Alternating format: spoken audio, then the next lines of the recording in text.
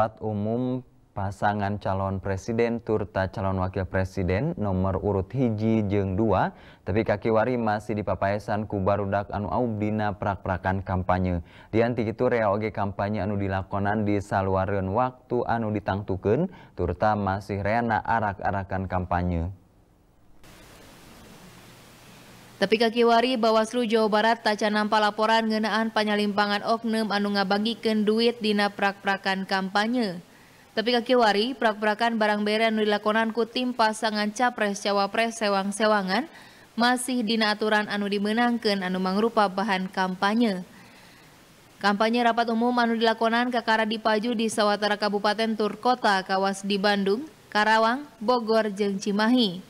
Patali jeung sawatara panyalimpangan anu dilakonan pihakna geus mapelingan tur tangerenkeun kagiatan pawe anu dipaju di luareun jadwal anu dicendekeun.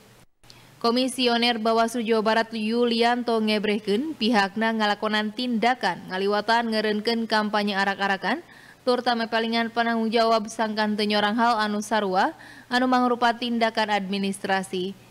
Upama pasualan waktu di luar jadwal kampanye, Bawaslu Jawa Barat bakal ngeren ke neta kegiatan serta nindak dinas skala ringan. Pengawasan dan pemantauan pelaksanaan pemilu 2019. Sekarang juga sudah masuk pada fase rapat umum, kemudian juga kampanye melalui media yang ini membutuhkan partisipasi seluruh stakeholder yang ada jajaran masyarakat karena kami menyadari bahwa Dirindang embohan bakal umaja ke sakumna masyarakat sangka nalingakeun pemilu tepi laporan ka pihakna upama ayah panyalimpangan di naprak prakanana. Masih cek Yulianto pihakna butuh partisipasi sakumna pimpinan lantaran Bawaslu Jawa Barat teu bisa digawe sosoranganan.